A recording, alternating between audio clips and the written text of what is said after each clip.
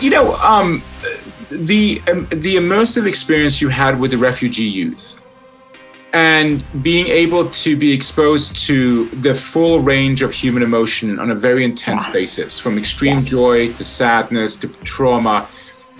Um, do you think having obviously incredible mind, you have an incredible mind, you've got lots of uh, you know uh, intellectual horsepower combining that with your immersive emotional connection or your most you know the eq and the iq do you think this had any impact on you as a product leader in understanding? Wow what a question. Yeah because it's understanding like the technical but the emotional side of the product. I think yeah. I think hi yes.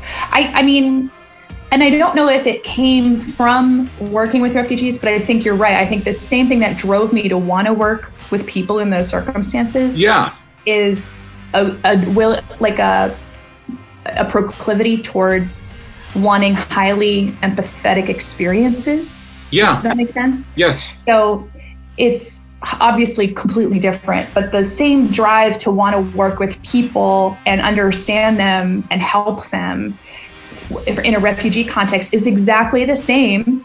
Obviously, not maybe as important to the world, but as wanting to work with customers and help them improve their work life yeah. by using your yes. software. Like our our user communities build careers using our software. It yeah. is like if you are an expert in our company's product, you can build an entire career.